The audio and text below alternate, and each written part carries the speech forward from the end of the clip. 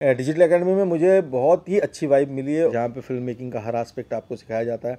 आप उसका नॉलेज लेके सीधे as a professional film industry में कूद सकते हैं। एक ज़माना था जब हिंदुस्तान में फ़िल्म मेकिंग सीखने के लिए किसी डायरेक्टर को असिस्ट करने के अलावा कोई और चारा ही नहीं था।